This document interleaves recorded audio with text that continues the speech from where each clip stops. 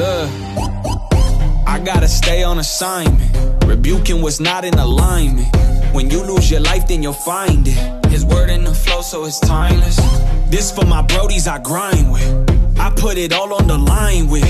My team, we been kingdom minded. Get around us, watch your mind shift. Pick it up, switch it up, cut to the chase. Okay, brothers and sisters, blessings, blessings to you, grace and peace. So, this teaching today is we talking about the tarot cards.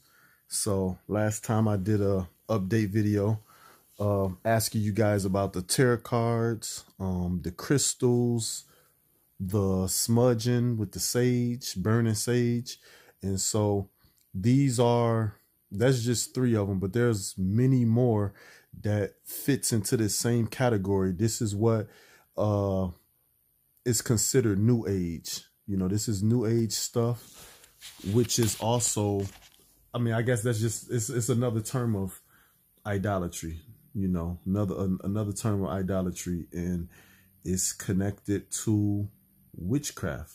You're trying to find some type of power, some type of source or power outside of the power of God or outside of the word of God.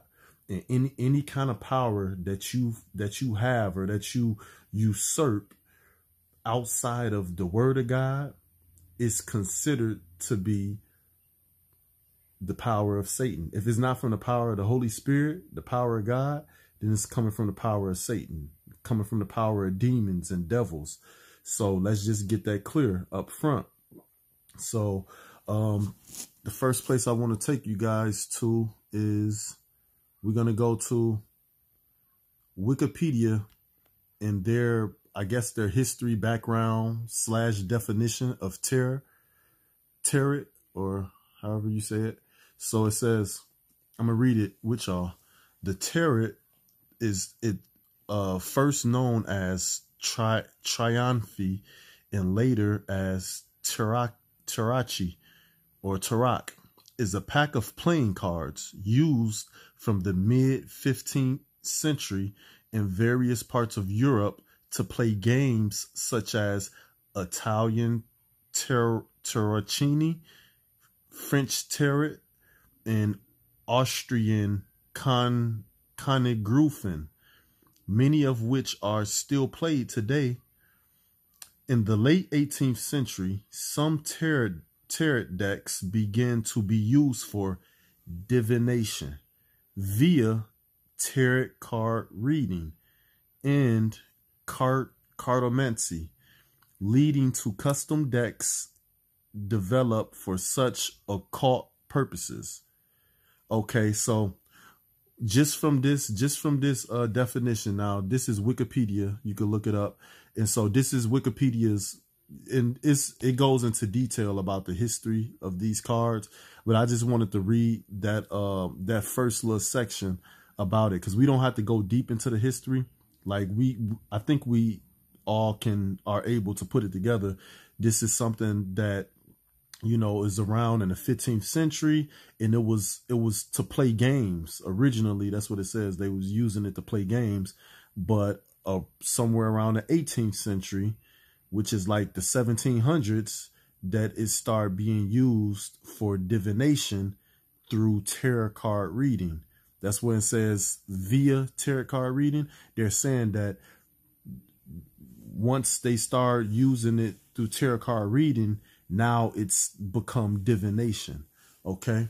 And so the reason this is important because you got many, uh, many believers or many uh, professing Christians or people that believe in God, they believe in Jesus, that he died and he rose. And some some of them, you know, profess that they confessed his name, they confess the name of Jesus, and they also believe in their heart, you know, and that they live a Christian lifestyle. It's a lot of them, you know, that's in that category, and they believe that there's nothing wrong with these cards. There's no, there's nothing wrong with it you know, and that these are just uh, this is just something where you can interpret your future you can or you can find out things about yourself or get to know your inner self or something of that nature you know and But what we want to do is, as Christians, we want to, as followers of God, as followers or disciples of Jesus, we want to see what God has to say about these cards. Is it okay to use these cards? Is it okay to figure out what our future is going to be? Is that something that the Bible teaches okay to do? Is it against the Bible? Is it so there's question marks here. You know, some people don't know. So this is the point and reason why we had to go back to the history of okay, where did these cards come from, you know, and what's involved with it.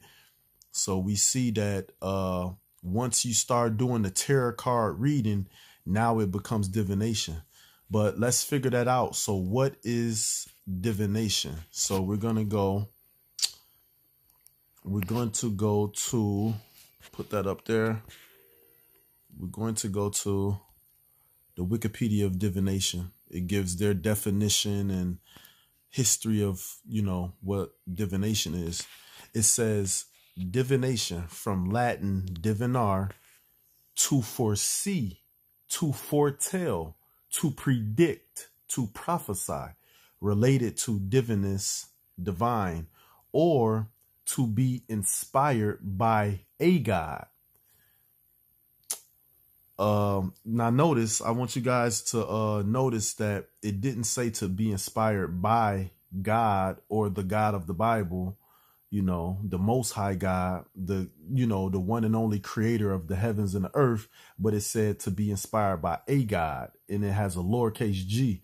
Well, we know in the Bible, when Paul says that Satan is the God of this world, they use the lowercase g because he's letting you know, yeah, he's the God of this world, but he's a, he's a false God, you know, and he, he has no real authority yeah, he yeah, he's a you know, he got dominion over this, but it's only the one and only living God is allowing this to happen. So I want you to notice that the definition of divination, what it's saying to foresee, to foretell, to predict, these are all different um different words that's and it also says to prophesy.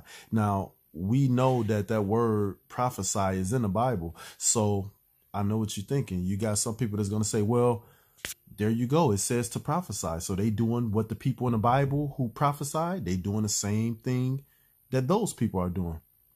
But I'm going to say, wait a minute. Let's, you know, let's put a, put a stop on that for a second. And, um, let's see what God says about divination. So, now, divination is a kind of a kind of way to prophesy, to have prophecy, but is it the way that God uses? So when God has prophets and those prophets they prophesy to people, is that is that through the source of divination that they're prophesying? Or is it just prophecy? So does God see a distinction between divination and just regular prophecy.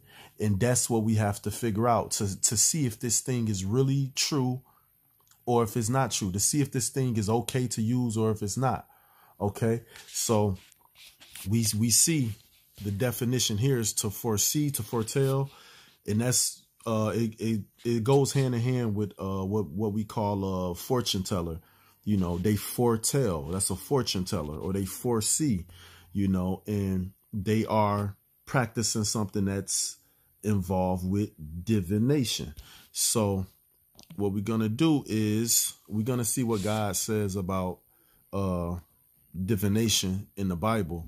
So Deuteronomy 18. So before we read, what we're going to do is we're going to pray. And just pray that uh, God just reveal his word to us in this time that we're able to understand and comprehend these scriptures and uh, for what they say in their proper context. And so, dear Heavenly Father, Lord, we thank you for your grace and your mercy, O Lord. We bless the holy name of Jesus. Dear Father, we thank you for bringing us together today, dear Lord, to just dig into your word, O Lord, that we may gain understanding. We pray that your Holy Spirit come upon all of the hearts of everybody who watched this video, dear Lord, and just allow our spiritual eyes to be open, dear Lord. Allow our minds and our hearts to be awakened, dear Father. Um, we just pray that we get understanding, that we uh, gain discernment uh, through your holy scripture, that you allow us to uh, be reproved, oh Lord, and that your word just inspires us and just gives us uh, everything we need, dear Lord, to continue following you and to continue to worship you uh, in the right manner, dear Lord, not veering from the path.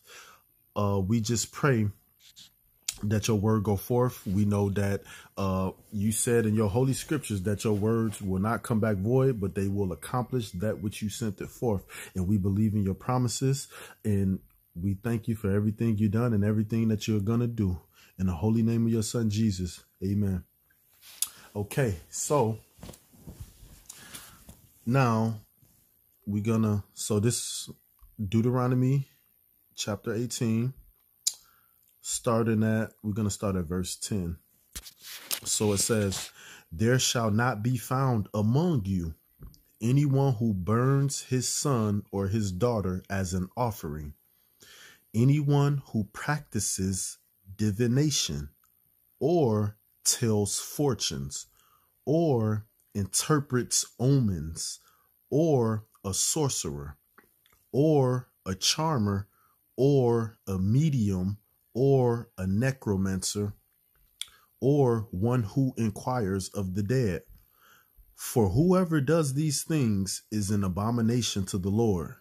And because of these abominations, the Lord your God is driving them out before you. The Lord your God is driving them out before you.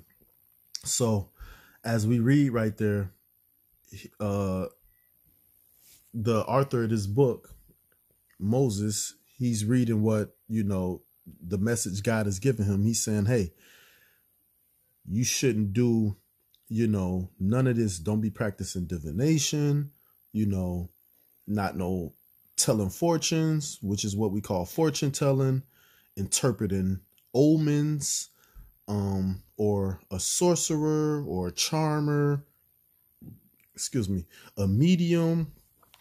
A medium is like if you guys seen the TV shows where they will like I seen this on the Ricki Lake TV show long time ago when I was a kid and she would bring people on and they will like their family members say their grandmother be dead and the person can talk to the dead, you know, and they will be talking to their grandmother through that person. That's a medium. So he says, look, have nothing to do with any of those things. Those things are an abomination to the Lord. And what he say? Whoever does those things is an abomination to the Lord. The Lord your God is driving them out before you. So we see that divination is bad. Divination is a part of this group of things, which is some some form and shape of witchcraft stuff that uh demons, you know, stuff that people who worship Satan, they do. And a, a, lot of people don't realize that the same way where we got so many Christians that worship God and they read their Bible, they go to church, you know, and they praise God, they do worship to God, give worship to God. You have people on the other side of that that does the same thing for Satan. They go to a church, they read the satanic Bible, they praise Satan through rituals and, you know, different things of that sort. And they also, they do spells and they do, you know, uh, chantings and omens and, you know, mediums talking to the dead and, you know, stuff like this. And they do divination, you know, all these different things. So this is something that's of the source of Satan. It's not of the source of God. And so that was just one example in the Bible, but I'm going to bring you guys to uh, another example in the New Testament. In the book of Acts, let's see. How do I go there on here? Going to go to the book of Acts. Uh, okay. So go down the list to the book of Acts. And we're going to go to Acts chapter 16. And we're going to start at verse 16. Okay, I'm going to read. I want you guys to read along with me. As we were going to the place of prayer, we were met by a slave girl who had a spirit of divination and brought her owners much gain by fortune telling.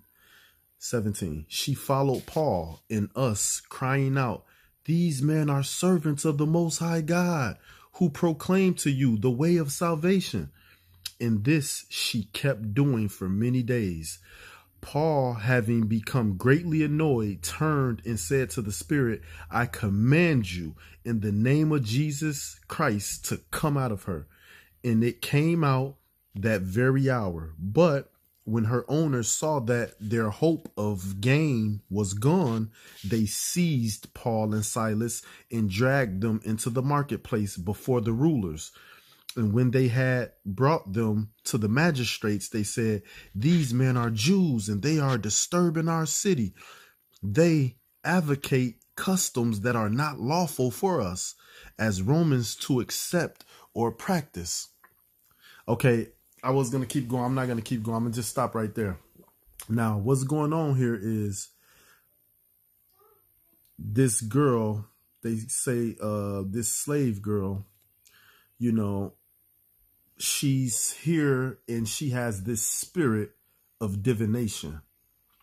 And she sees Paul and Silas, you know, these are servants of the most high God doing God's will, you know, they going out and, you know, building and preaching the, the, the message of Jesus, death and resurrection and, you know, preaching the gospel.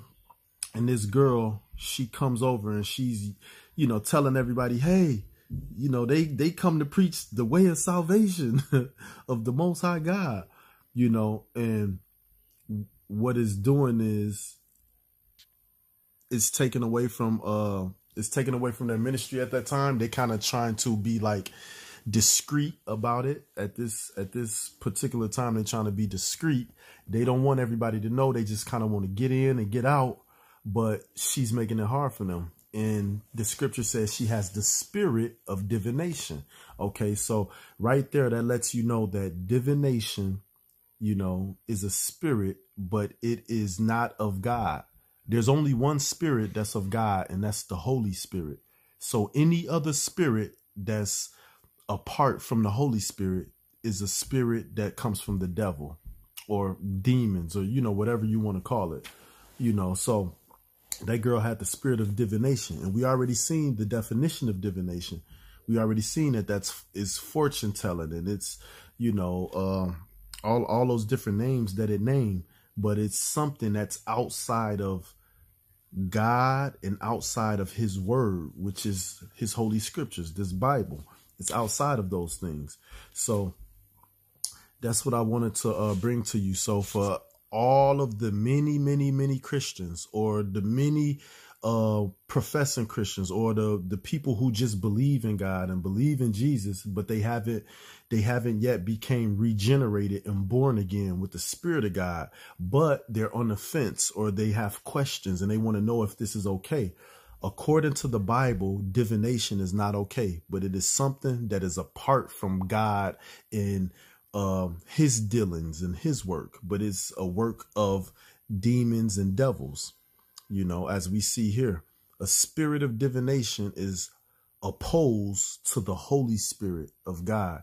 Though they they oppose to each other. They're not on the same side. They're not on the same team. We see that through this scripture I read, um, through the last scripture in Deuteronomy 18, verse 10. You know, it said that, hey, have nothing to do with divination and fortune telling and all this stuff. And that's what this girl here is doing. She's fortune telling. And it says that she has a spirit of what? A spirit of divination. So through the scriptures, for anyone who believes the Bible, they believe the scriptures. So this alone is enough evidence for someone to acknowledge and say, okay, well, according to the Bible, divination is bad and tarot cards is a part of divination. We see that when we looked at the Wikipedia. Okay, so you know, let's uh, go back to it.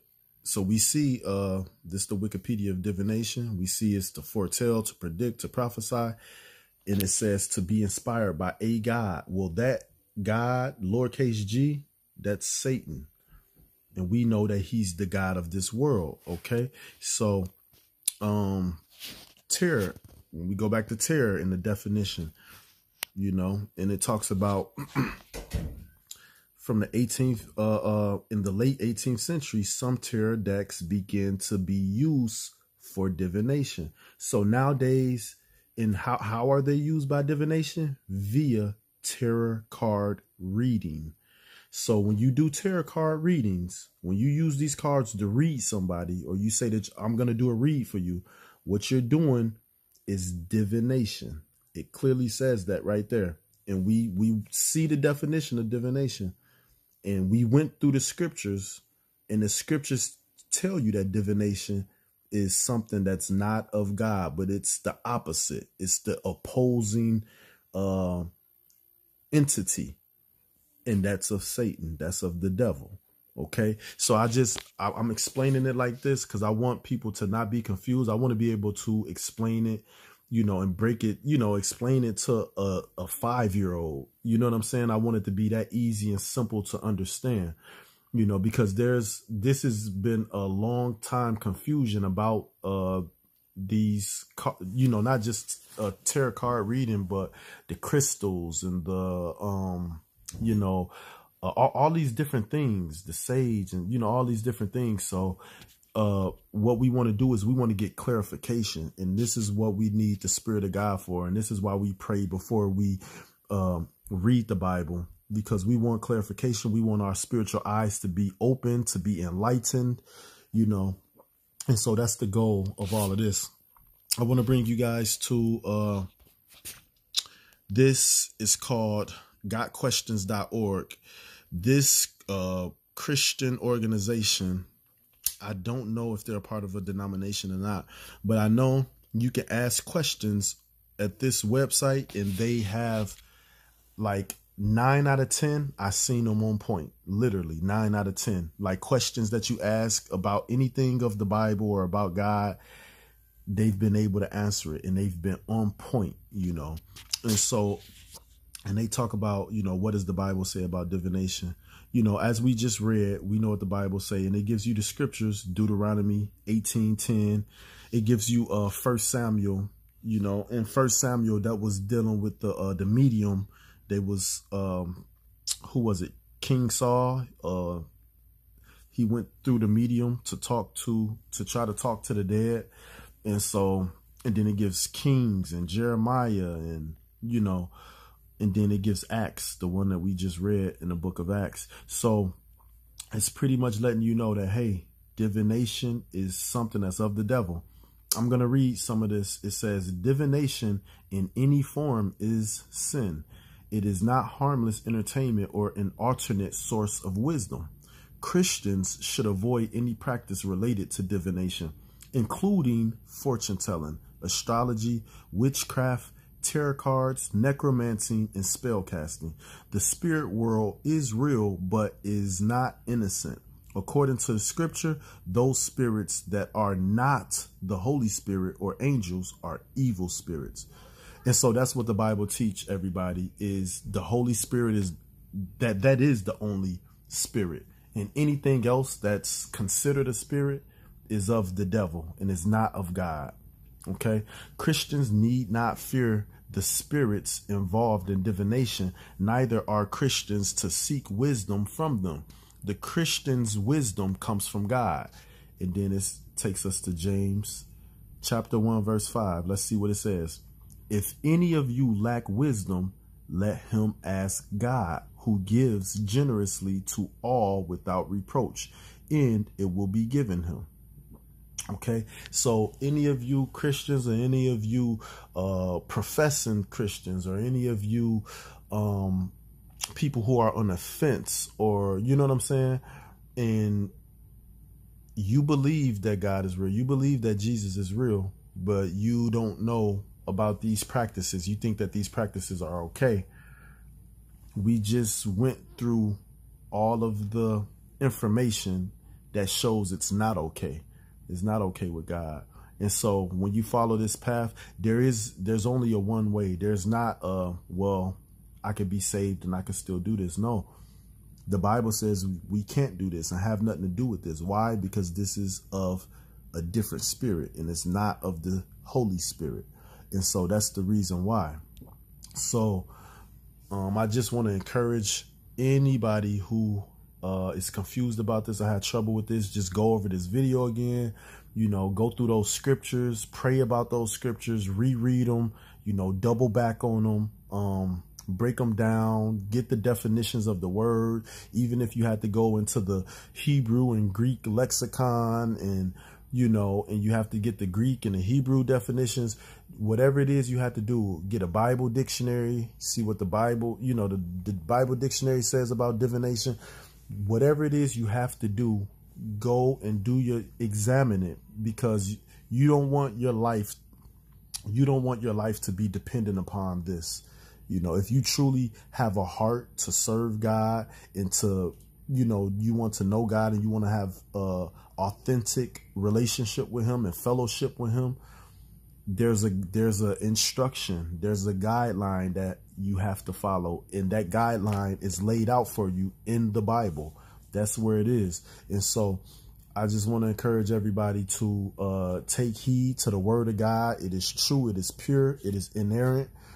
No, nobody didn't twist it. Nobody didn't. Yes, people have tried to manipulate it, but it's been preserved all the way from way back when, you know, in the Bible days, all the way to right now today. It's been preserved, you know. And so I want to encourage you guys, uh, study this thing out, test all things by the Spirit. And the Spirit is the Spirit of God I'm speaking of, you know. Test all things by the Spirit of God.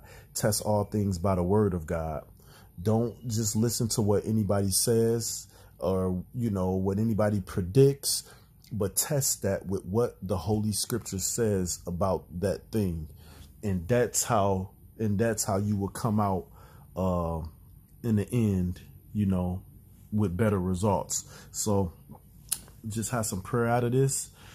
Dear Heavenly Father, Lord, we thank you for having this uh, study, dear Lord, in this video. We thank you uh, just for the people who have been admonished and the people who have been encouraged, dear Lord, the people who have been inspired. We just pray that your holy word, it just keeps building us up and just giving us strength. Dear Father, we just desire to know you and to have a relationship with you, Father. Uh, we know that you are the God of all gods and the King of all kings, and there is no other God. There is no other spirit, O Lord other than your Holy Spirit, dear Father. And we just pray that all of the people who watch this video, anybody who is a part of uh, divination or tarot cards or any of these uh, different new age movements, dear Lord, that you just uh, uh, uh, unharden their hearts, dear Lord, and just allow them to receive your holy word. Oh Lord, just allow them to receive your revelation, dear Father, through this study and through this video, dear Lord, that they may be,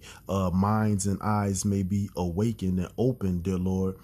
Um, we know that your holy scriptures say those who answer a matter, uh, before, before it is, uh, even finished or complete that it is foolishness to them. It is shameful to them oh lord. So we just pray that everyone does examine this and don't just wave it off just because of the title of the video.